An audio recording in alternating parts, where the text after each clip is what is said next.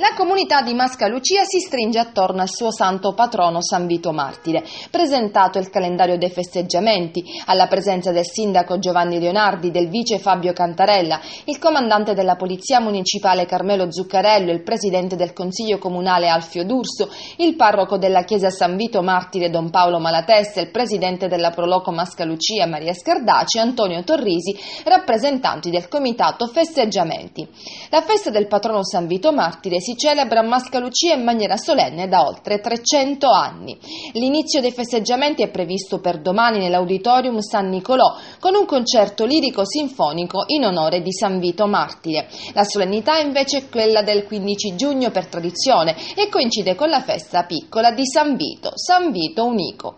Il fercolo viene portato a spalle in processione dai devoti nel centro storico del paese, un'iniziativa, spiega Antonio Torrisi del Comitato Festeggiamenti, che si arricchisce di momenti importanti. La processione sosterrà in un itinerario organizzato dai giovani della comunità di Mascalucia per rappresentare dal vivo scene della vita del santo.